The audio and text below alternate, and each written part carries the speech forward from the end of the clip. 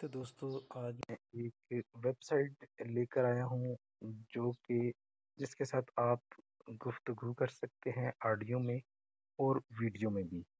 तो यहाँ पर आप वेबसाइट का एड्रेस देख सकते हैं। इसका नाम है call Annie dot A I तो इसकी स्पेलिंग है C A double L A double N I E dot A I A I for artificial intelligence तो इस वेबसाइट पर हम आकर सबसे शुरू में आप आएँगे तो यहाँ पे पहले आपको अपना फ़ोन नंबर दे के अपनी आईडी बनानी पड़ेगी।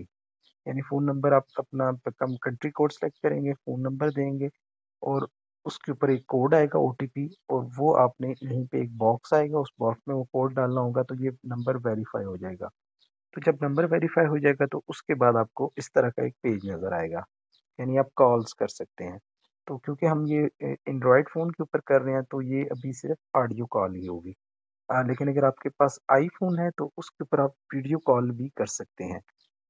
तो यहाँ पर जब पहली दफ़ा आप इस पर कॉल पे क्लिक करेंगे तो ये आपसे पूछेगा कि माइक की एक्सेस इसको देनी है या नहीं देनी। क्योंकि हम इससे बात करना चाहते हैं तो माइक की एक्सेस आप इसको अलाउ कर देंगे। क्योंकि मैं पहले ही कर चुका हूँ तो ये दोबारा से मुझे करने की ज़रूरत नहीं। अब तो मैं सिर्फ़ कॉल पे प्रेस करूँगा।